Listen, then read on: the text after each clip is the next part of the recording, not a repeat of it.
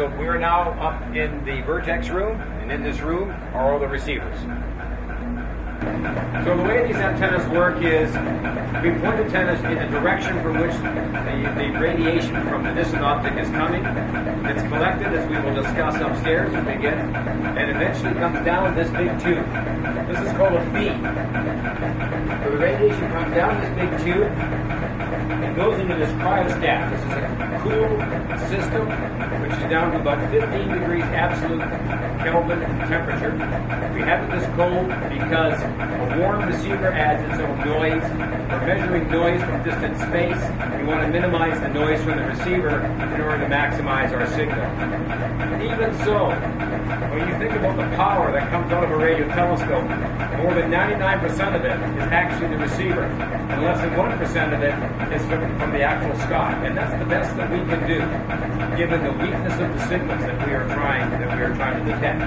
The EVLA has eight amplifiers, eight receiver systems. These eight receiver systems cover the frequency span from 1 to 50 gigahertz. This one here is from 1 to 2 gigahertz.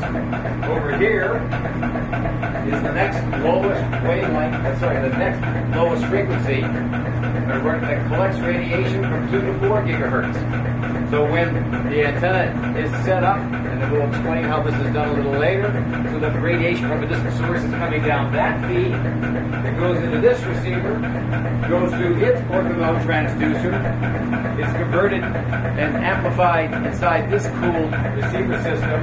It comes out on these two little cables. This is when the signals from deep space are coming out, where they go into other amplification these two cables to go to that same patch panel that we had discussed for the for the other frequency band. That's two other frequency bands. There are six others.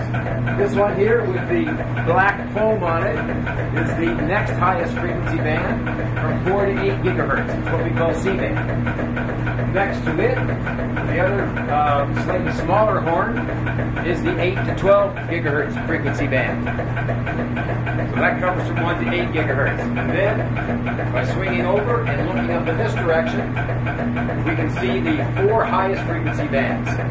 On the left is the new, brand new 12 to 18 gigahertz receiver. Next to it is the 18 to 27 gigahertz. Next to it is the 40 to 50 gigahertz. And the last one, tucked up against the edge, is the 27 to 40 gigahertz frequency band. All of these receivers work in essentially the same way. They receive the frequency information coming from deep space. These frequencies are uh, split into their uh, polarization components, amplified in low noise amplifiers, further amplified, converted to different frequencies, all collected in this patch panel up against this cabinet here. And within here is the electronics to select which one of these bands that we are actually going to be doing our observing in.